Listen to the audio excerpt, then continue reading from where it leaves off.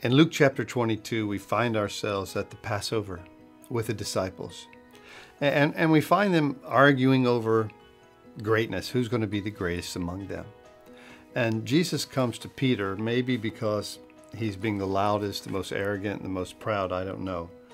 And he says, Simon, Satan has asked for you that he may sift you like wheat, that, that he might, you know, take Peter down. He says, But I prayed for you. And here's what Jesus says I pray for you that your faith should not fail.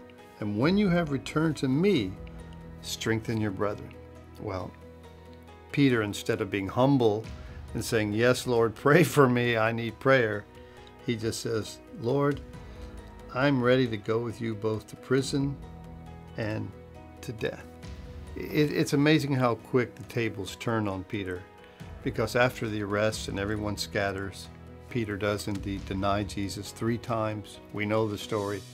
And after the resurrection, Jesus hunts him down, finds him at the Sea of Galilee, fishing with the men.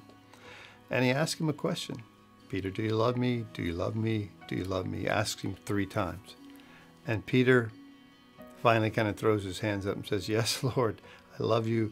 You know I love you. You know all things. You knew I was going to deny you. You knew I was going to fail. You knew I was going to be out here fishing. And Jesus, instead of rebuking him or creating some kind of difficult pathway for Peter, he says, Peter, just go back to what I called you to do and feed my sheep. Listen, all of us, I think, when things are going good, think we're capable of, yeah, I'll follow you, Jesus, no matter what. Jesus comes to us and he says, Look, I know you. I know who you are. You're weak. I'm praying for you. And he restores us. The wonderful story of, of, of Peter is that even though he's weak, and so are we, and even though we stumble and fall, and we all do, that Jesus is the one who restores. Jesus is the one who rebuilds. As we've been studying through Nehemiah, Jesus is the one who renews life again.